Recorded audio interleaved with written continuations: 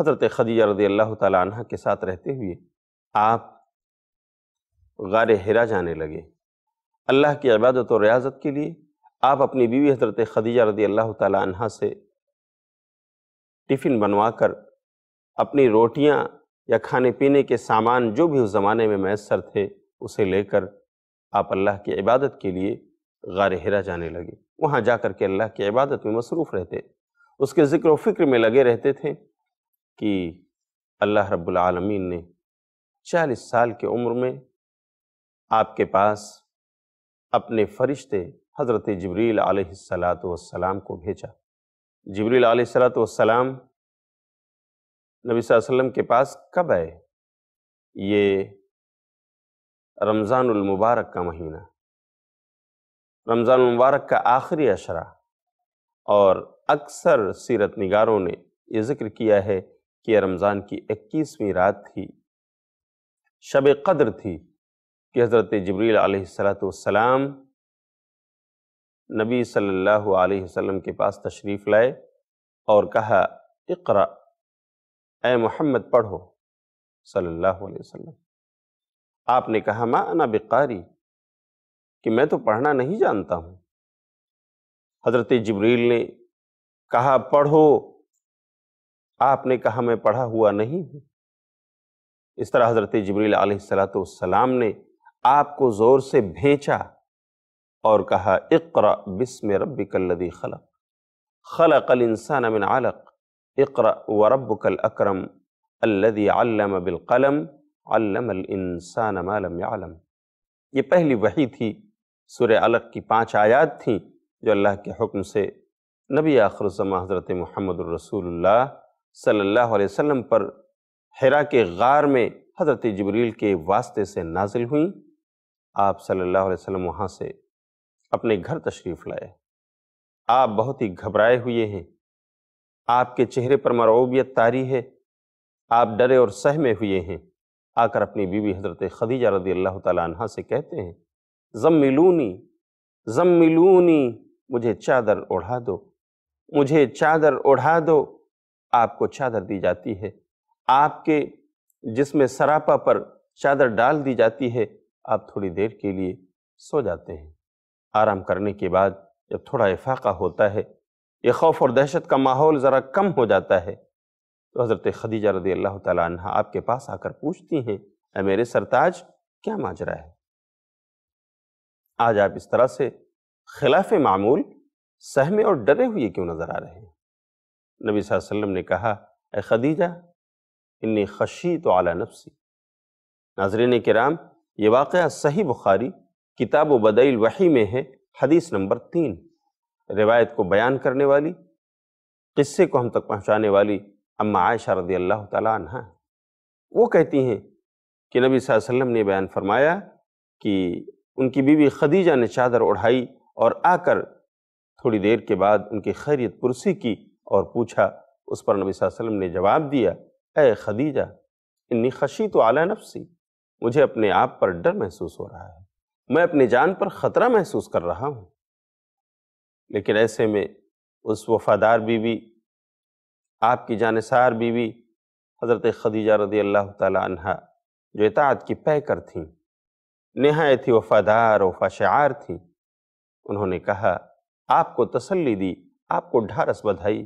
کیا پیارے جملے تھے حضرت خدیجہ رضی اللہ تعالیٰ عنہ کے، جو انہوں نے اپنے شوہر نامدار حضرت محمد الرسول اللہ صلی اللہ علیہ وسلم کے لیے اپنی زبان سے ادا کی کیا کہا تھا خدیجہ نے؟ خواتین کے لیے یہ الفاظ بہت ہی باعث عبرت ہیں کہ کس طرح وہ اپنے شوہروں کو ایسے موقعوں پر تسلی دیں، جیسا حضرت خدیجہ رضی اللہ تعالیٰ عنہ نے نبی صلی اللہ علیہ وسلم کو دی۔ آپ کہتی ہیں کل واللہ ما یخزیک اللہ ابدا ہرگز ایسا نہیں۔ اللہ کی قسم ہے، اللہ تعالیٰ آپ کو رسوا نہیں کرے گا۔ کیوں نہیں کرے گا؟ صفات آپ کی بیان کرتی ہیں۔ آپ کے خسائل کو اجاگر کرتی ہیں۔ اور آپ کی خدمت خلق کے کلمات ان کی زبان سے جو ادا ہوتے ہیں، دلیل کے طور پر وہ یہ ہیں، کہتی ہیں، اللہ آپ کو رسوا نہیں کرے گا۔ ما یخزیک اللہ ابدا۔ انکا لتصل الرحیم۔ اس لیے کہ میرے سرتاج، آپ رشتہ داریاں جوڑتے ہیں۔ کاٹنے والوں سے بھی آپ جا کر ملتے ہیں۔ ناراض ہونے والوں کو بھی آپ مناتے ہیں۔ آپ رشتہ داریوں کا حق ادا کرتے ہیں۔ انکا لتصل الرحیم۔ وتحمل الکل۔ وتقسب المعدوم وتقر الضعیف وتعین علی نوائب الحق. پہلی بات جو بیان کی حضرت خدیجہ نے وہ یہ رضی اللہ عنہ و ارضاہ کہ آپ صلہ رحمی کرتے ہیں، رشتہ داریاں جوڑتے ہیں۔ اور دوسری بات جو بیان کی وہ یہ کہ اللہ کیوں آپ کو رسوا نہیں کرے گا؟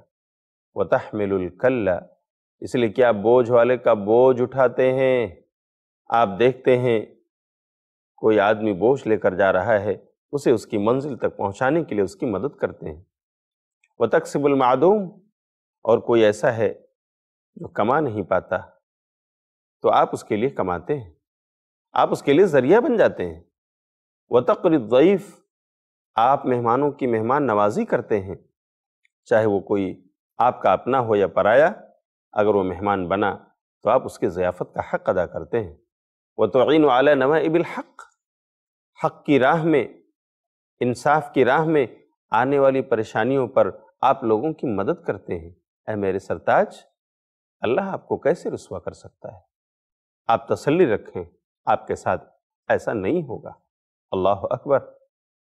یہ تھی وفادار، یہ تھی وفادار بی بی حضرت خدیجہ رضی اللہ تعالیٰ عنہ جو آپ کو ڈھارس بدھاتی ہیں اور اتنا ہی نہیں، پھر اپنے رشتہ دار ورقہ بن نوفل کے پاس لے جاتی ہیں اور وہاں ورقہ بن نوفل کے پاس ساری داستان بیان کرتی ہیں۔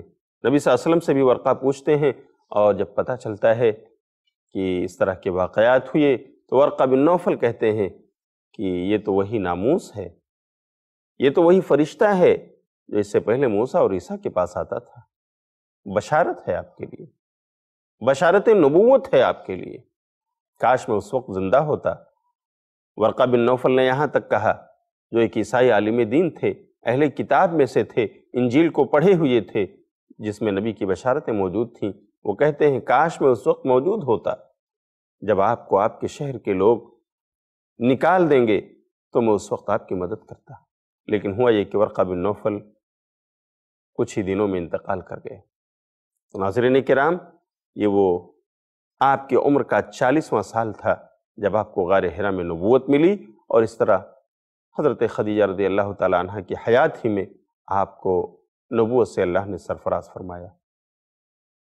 اللہ کے دین کی دعوت اور لوگوں تک پہنچانے کے لیے اس ویڈیو کو ضرور لائک، شیئر، کمنٹ اور سبسکرائب کریں۔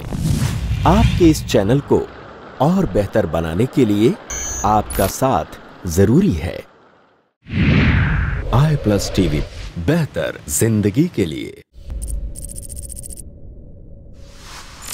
اپنے کیبل یا ڈی ٹی ایچ آپریٹر سے آئی پلس ٹی وی آج ہی ڈیمانڈ کریں۔